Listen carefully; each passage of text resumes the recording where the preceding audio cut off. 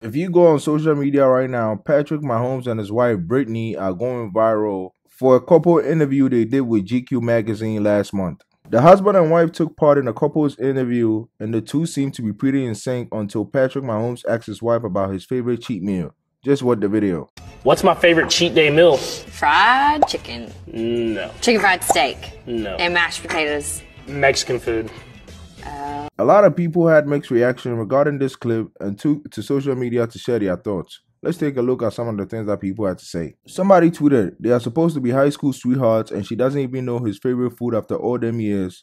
And the way she immediately said fried chicken and tried to clear it up with an even more fried chicken with a side right after, but he must like to be with her. This person also said, I can always spot the dissociated biracial folk who completely ignore microaggressions mainly because they don't identify with their blackness at all. It's like it can't be meant that way because I'm not black, when that's exactly how it's meant. So this person is trying to tell us that he saw all of this through this clip.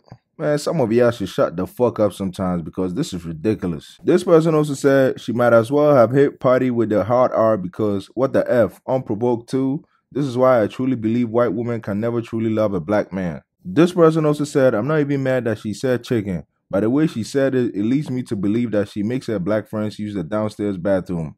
Okay, this was a funny comment. This person also went completely off the rails, saying, It shows she's with him for the money. Yes, they've been together since high school, but the white girls are actually trained to pursue black athletes in high school that seem to have a promising career. I seen a video how even white coaches will get mad when the black D1 male athletes date black girls and they pressure them to go with white girls. White people do weird shit like this. It's a way to keep the wealth with whites. What?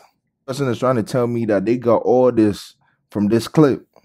Other people also came to their defense with this person saying, I don't know, everyone's so quick to pull the race card. Whole time he probably asked her to cook fried chicken. Nobody knows because nobody lives with the man. Nothing she said was racist. White people eat fried chicken a lot too. Like what? This person also said whether that answer has some prejudice juice on it or not, we don't live with them. That man chose to marry her. If he didn't know what the F he was getting himself into on that level, that ain't got shit to do with us. And I agree 100%. And lastly, this person said, Why does it matter to black women so much what this mixed man with a white mama and his wife do? Like at this point, it's like we want a reason to feel like everything is racist I see if a man isn't usually attracted to the same type of woman his mama is. So yeah, that's what's going on in the Patrick Mahomes side of things. Let me know what you think in the comments down below.